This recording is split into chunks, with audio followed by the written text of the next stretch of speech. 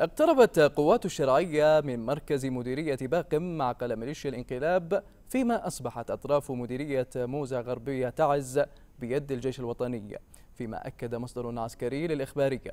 تقدم وتحرير أجزاء جديدة من معسكر خالد الذي يعتبر ثاني أقوى قاعدة عسكرية في اليمن.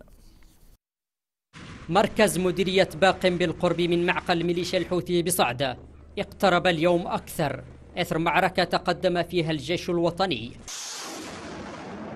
ونجحت صواريخ قوات الشرعية بالجوف من تحقيق أهدافها بتدمير مواقع للميليشيا بجبهة العقبة.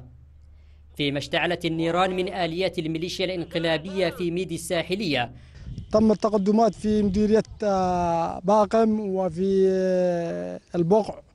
والآن في يعني تقدمات باتجاه الحديدة يعني والحمد لله الجيش الوطني في كل الجبهات يتقدم فيها. مصدر عسكري باللواء السابع عشر بالجيش الوطني بتعز أكد تحقيق سيطرة مهمة لأجزاء من معسكر خالد بن الوليد فيما وصل الجيش الوطني إلى مشارف مركز مديرية موزع وتسعى قوات الشرعية إلى إعلان جميع المناطق الغربية من محافظة تعز محررة بالكامل عقب استكمال تحرير معسكر خالد. المعارك الآن محتدمة. حول آه، معسكر خالد بن الوليد. وقد تم آه، السيطرة على جزء من هذا المعسكر. ما زالت المعارك قوية حتى هذه اللحظة. تحاول قوات الجيش التقدم آه، بتركيز وأيضا بعناية فائقة. نظرا لمقامة في ميليشيات مزرعة حقوق الغام بشكل كبير جدا. وأيضا تفاديا لخسائر. فيما يخص أيضا مديرية موزع المعارك الآن قريبة من مركز المديرية بحوالي 2 كيلو.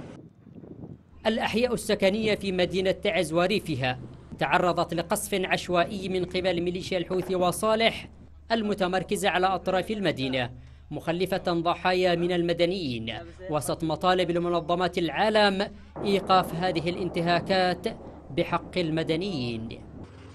من صعدة إلى تعز انهيار لميليشيا الحوثي وصالح يوما بعد آخر وتقدم مستمر لقوات الشرعية التي اقتربت من معقل الحوثيين. بلال الصبري الإخبارية تعز.